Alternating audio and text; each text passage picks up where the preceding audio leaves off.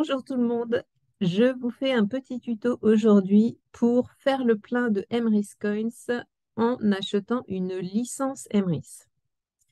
Je suis sur ma page d'accueil, je vois en bas que je n'ai plus que 1,10 Emrys Coins et je vais devoir placer des parts.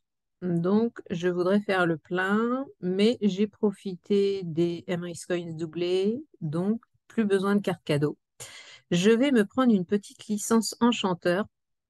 Ça va me créditer de 50 Emrys Coins, ce qui me permettra de placer mes parts. Et puis, j'aurai une licence enchanteur en stock pour parrainer un enchanteur. Donc, je vais dans Boutique, Boutique Emrys. Ensuite, dans la boutique Emrys, je sélectionne le menu Produits Emrys.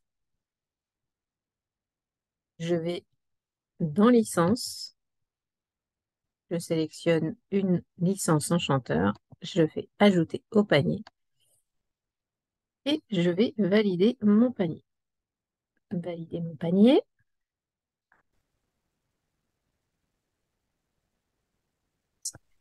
Et là, j'ai 50 euros de crédit d'achat disponible. Ça va me permettre d'économiser la TVA qui est de 10 euros. Sinon, si je paye en carte bancaire, ça va me coûter 60 euros. Donc, je mets le montant de crédit d'achat que je veux utiliser et je clique sur acheter maintenant.